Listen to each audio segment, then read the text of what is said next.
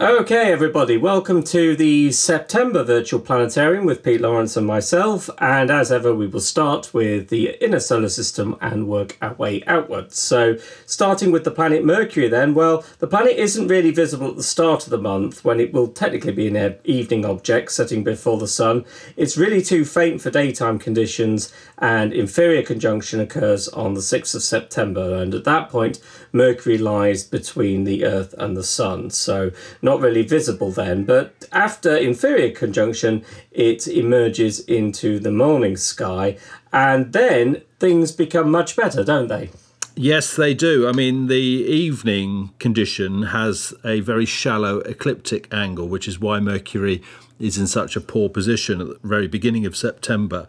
But as we go past inferior conjunction and Mercury begins to move into the morning sky, the ecliptic makes a very steep angle with the eastern horizon in the morning before sunrise. So Mercury climbs really quickly and will have a much more favourable appearance of the little planet.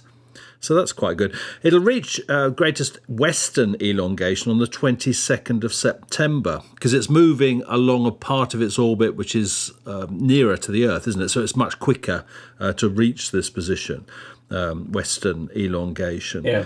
Um, so that means it'll be moving to a very favourable position quite rapidly, and it'll be shining at magnitude minus 0.3 and rising over 100 minutes before the sunrise on the 22nd of September. So that's not too bad at all.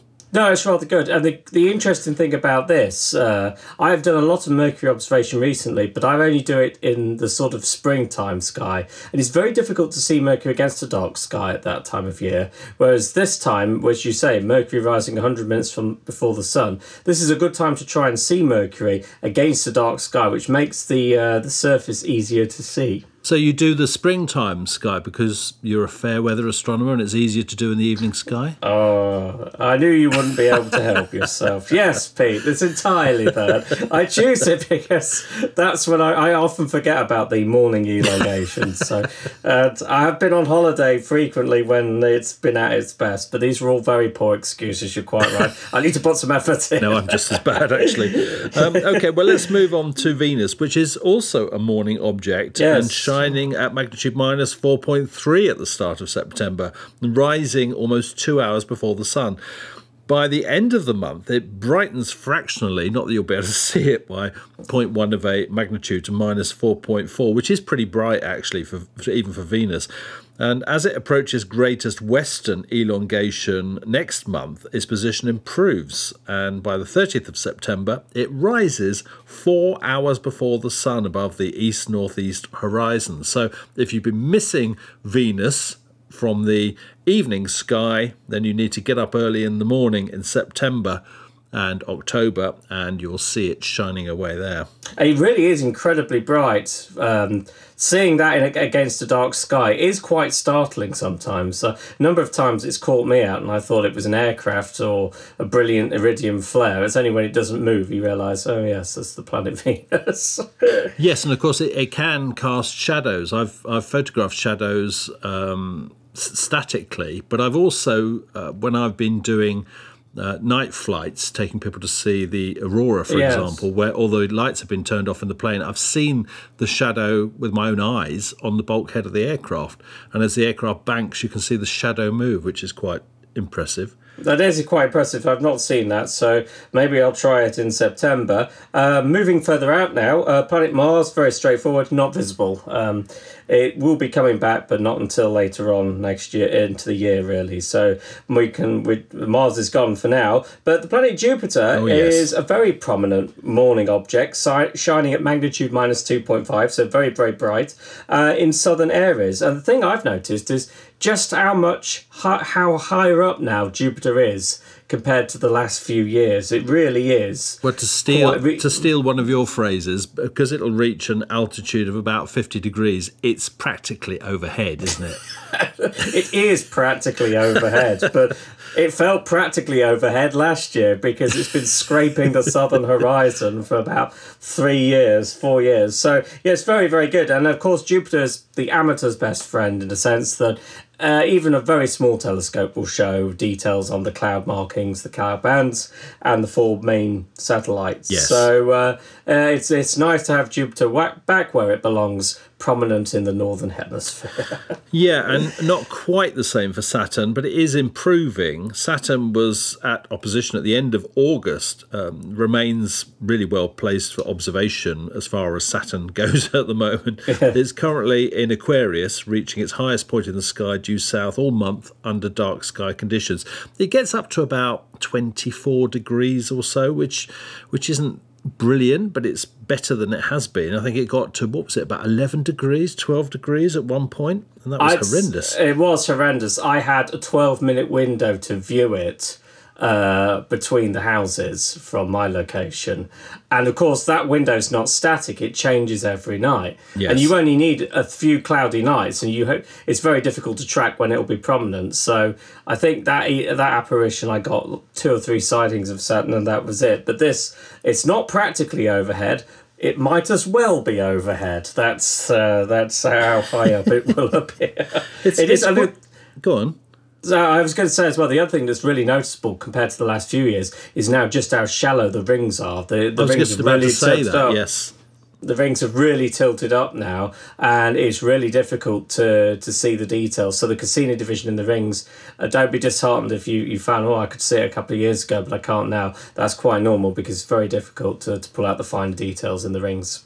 It's a bit ironic, isn't it, that it's now is actually climbing higher. It's going sideways on, so we can't see the rings as well. Does It's Saturn some- not like us? It's some sort of cosmological prejudice against the northern hemisphere. That's all I can think of. Well, there's a bright 91% lit waning gibbous moon, 3.3 degrees south of magnitude plus 0.5 Saturn, as the pair approach setting on the morning of the 27th of September. What about the ice giants then? Well, Uranus is a morning planet, reaching its highest altitude due south under dark sky conditions from the middle of month onwards. It's not too far from Jupiter, actually. It's only about seven and a half degrees away from Jupiter. And so um, it should be fairly easy to find. It's just below uh, Botein, which is in um, Aries. So uh, that's probably the best star to use to navigate to Uranus. Yeah, and once you've found it, it moves quite slowly. So uh, once you've got it, it's probably going to be in about the same position for many, many nights. So where tracking it down once is the harder part, and then you can kind of remember where it is, and that's it. The biggest, yeah, the biggest problem is the fact that it's it always seems to be in a part of the sky which has got six magnitude stars in it, and it it's about magnitude six, so it's quite easy to sort of mistake it for one of the stars. It is. I go by the greenish colour, but that's really only obvious uh, to low power in a telescope. Yes, it is. So uh, yeah, as you say, you it's not uncommon to have to try a couple of stars, uh, and then finally you get Uranus. Unless of course you you cheat like I do now and just plug it into the go to and and it's there in moments. That's that's an admission. That's an admission. All right. What about the planet Neptune? Um, so Neptune reaches opposition this month on the twentieth September, and it's some thirty-five degrees when due south under dark sky conditions all month long. So it's a good time to to observe uh, Neptune.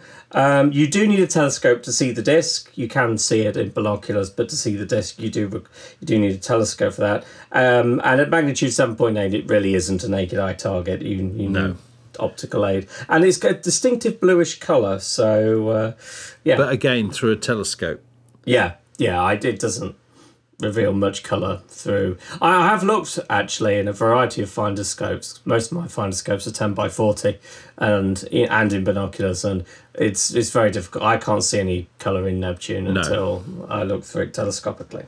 I can remember actually doing a, uh Sky Night program on Neptune, and I had to have a, a big telescope set up in a portable location.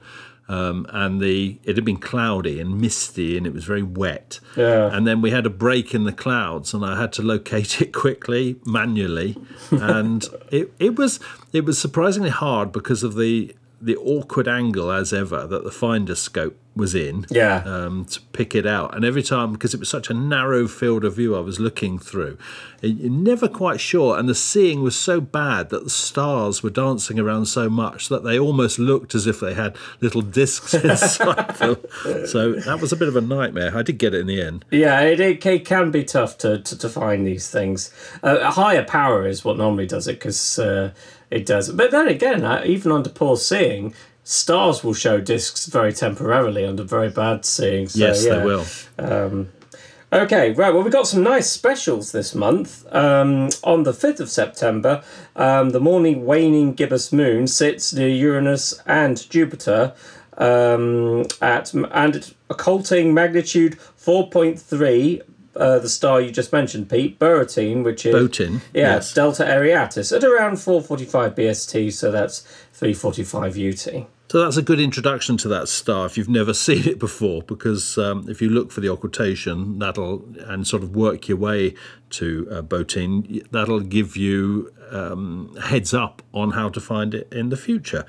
On the 6th of September, if you're up and you're looking at the 58% lit waning gibbous moon, you'll see that its libration favours the southern polar region. So the craters in the near the South Pole are tilted further towards us. Not so good for the northern part of the moon. And we stick with the moon actually on the 7th when there's an opportunity to see a clair-obscur effect. This is a more obs- obscure obscure effect, I guess you'd describe it, known as a Gruithuisen's lunar city.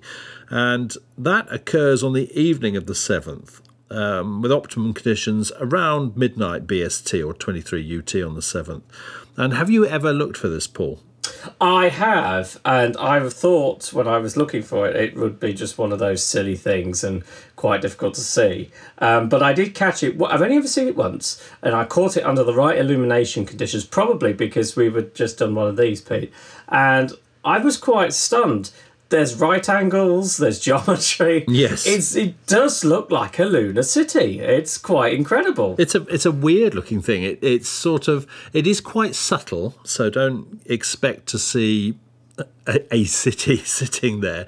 Um, but No, but it, it- there's no bright lights or city lights or anything like that. no, But there's nothing the- going on there. But when the light catches it, it do, there are right. It just. I think the thing that makes it more distinctive is that it sits in a, a patch of the moon that's quite bland. Yes. So it stands out quite readily against the bland background of where it is. Yeah, and it, uh, to me, it always looks a bit like a, a leaf. It's sort of got radial lines coming Yes. out, and then they're sort of joined together in concentric arcs, if you like. I think people interpret it in different ways, and um, but it is something which is quite interesting to look for. So if you fancy a go at that, then have a look in the magazine where you get some information on that. So, uh, what else we got? Well, on the 9th, magnitude minus 4.4 Venus, which we've mentioned already, will sit 0.9 degrees to the south of the seventh magnitude open cluster, M67, in Cancer. Now, we often look at M44, which is the beehive cluster, but we overlook M67 because that's fainter. Yes. It's a really lovely cluster, though. It is a lovely cluster, but it is quite faint and it's well overshadowed by M44. But I think it's quite nice that Venus returns to uh, being near this cluster and, and, and gives it a little highlight. Yes. Um, on the 11th, early risers can catch a 12% lit waning crescent moon.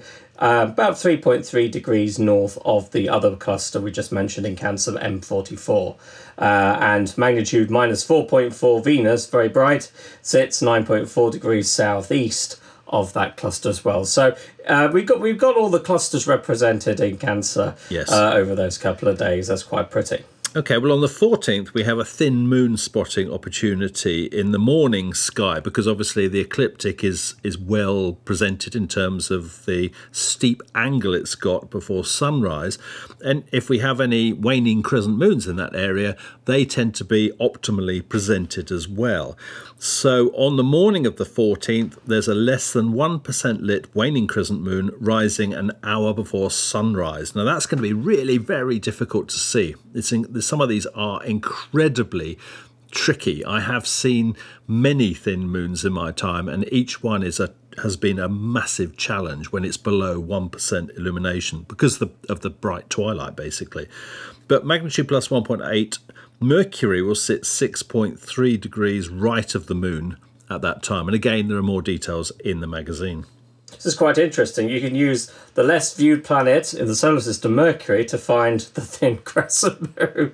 it's quite interesting. Okay, on the 23rd, the centre of the Sun crosses the celestial equator at 0650 UT. Uh, and this marks the Sun moving from the north celestial hemisphere to the southern celestial hemisphere. And that instant of time when the Sun's centre is on the celestial equator uh, marks the northern hemisphere's autumn equinox. Yes. So after that, nights will be starting to draw in, and it will be time to uh, wrap up warmer as we're observing. Absolutely. Well, on the 24th, uh, we have a 72% lit waxing gibbous moon in the evening sky, which has a libration, which evens things up because this one favours the northern polar region. So it is interesting to compare the two. If you get clear nights when you have the the good libration for the southern part of the moon, um, so that was on the 6th of September.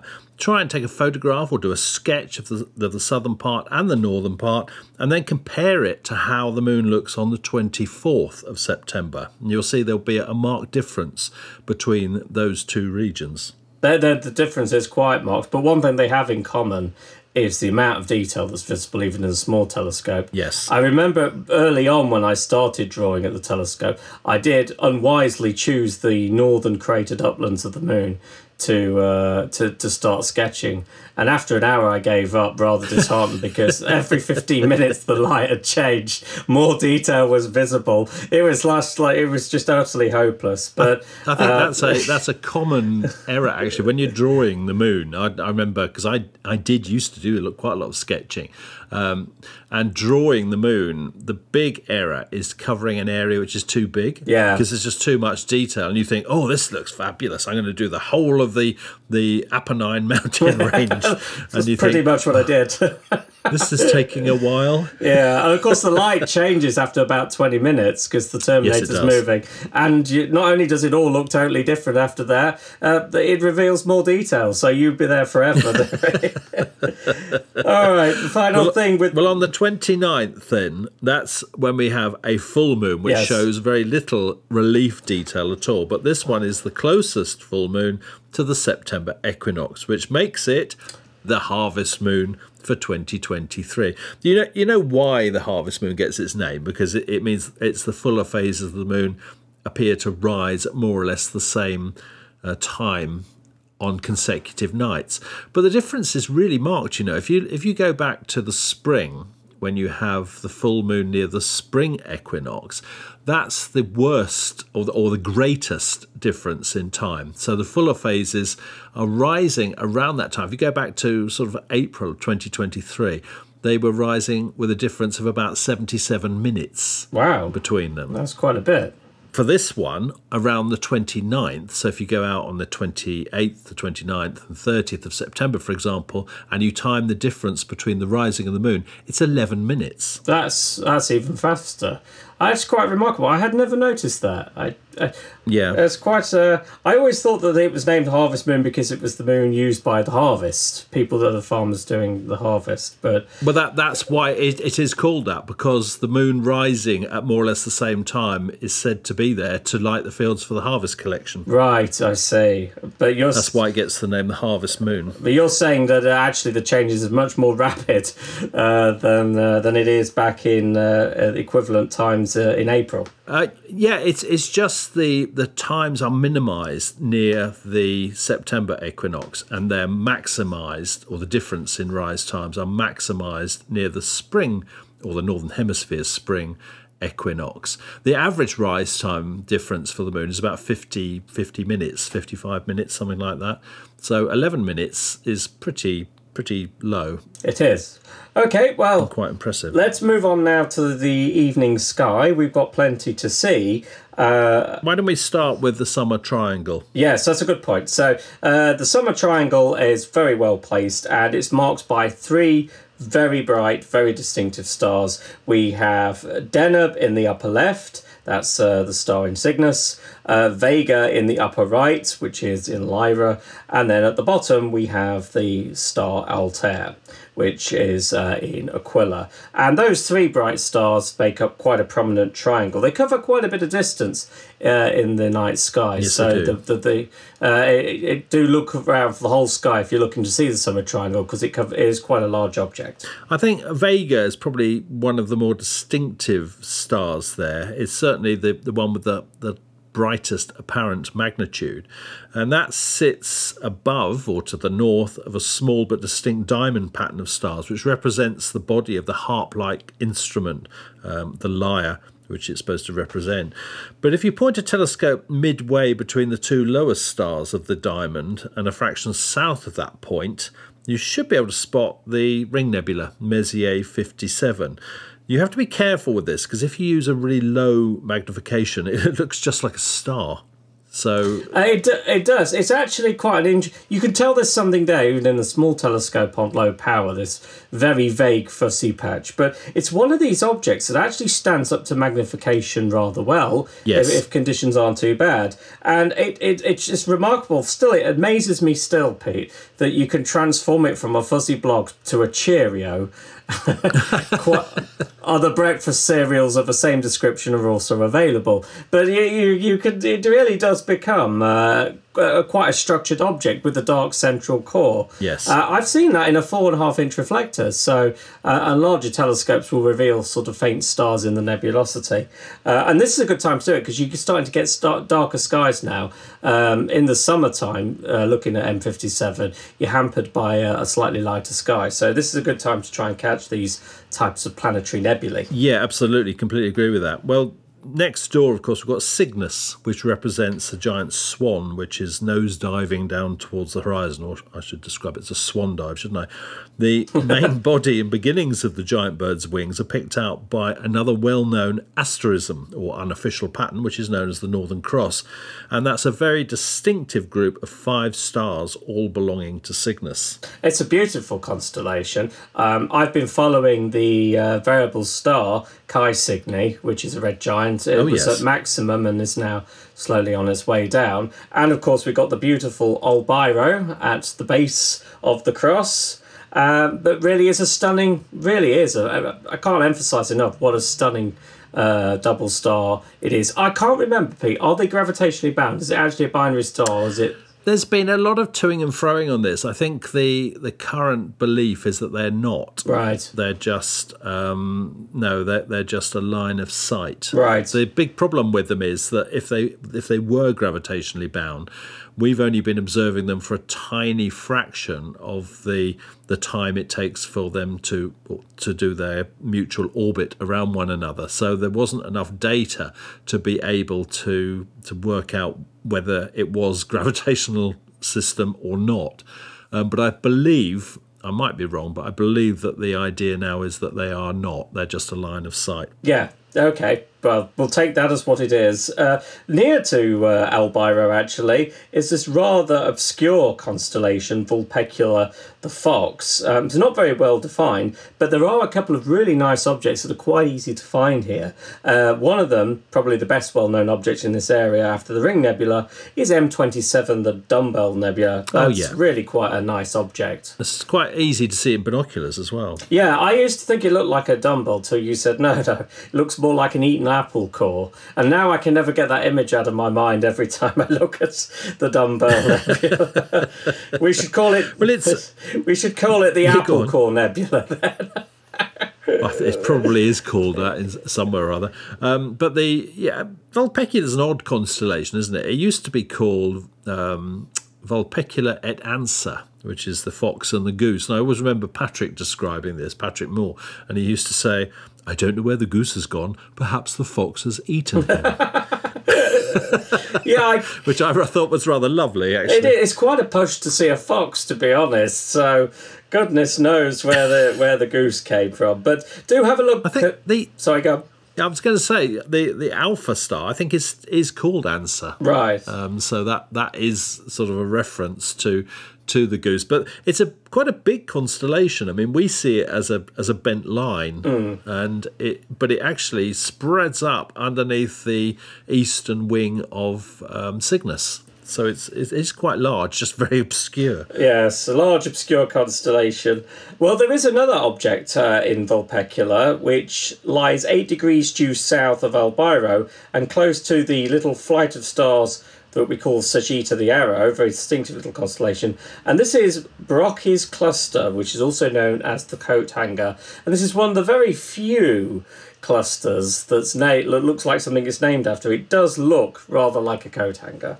It does look exactly like a coat hanger. It's Collinder 399 is its uh, cluster designation, which is ironic because it isn't a cluster at all. It's an asterism. It's a line of sight of, of stars. But they all line up to look exactly like a coat hanger. Yes, uh, it's quite a distinctive uh, little object, worth a look. And hanging to the south of the star Epsilon Cygni um, is a fourth magnitude star known as 52 Cygni.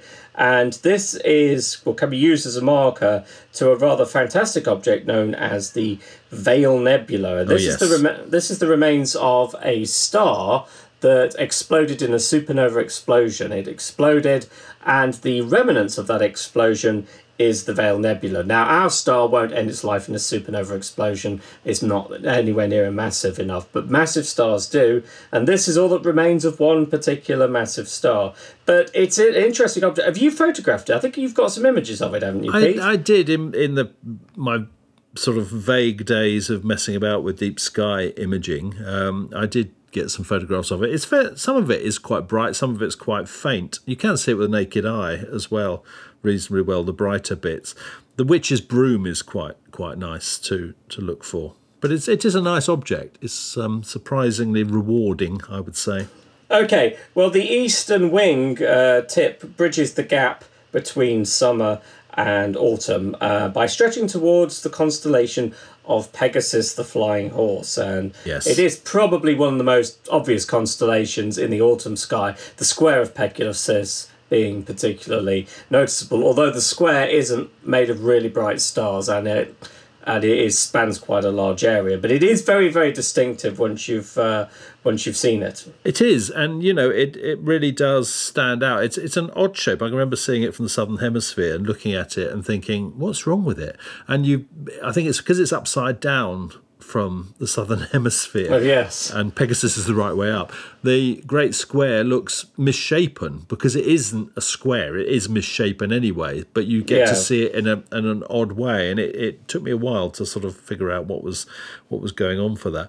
Well, we're heading into the sort of autumn sky here, so we'll, we'll sort of wrap up just by mentioning that coming off the Great Square of Pegasus, of course, we've got the constellation of Andromeda, the chained princess, and that's the home of the superb Andromeda galaxy, Messier 31, which is starting, is now beginning to get into M31 season, isn't it? And it'll it'll get better in October and November. It's pretty well placed then. Yes, we'll talk about more about those in upcoming virtual planetariums. So, yeah, plenty to see in the September night sky. Brilliant. Thank you very much, Paul. Thanks, Pete.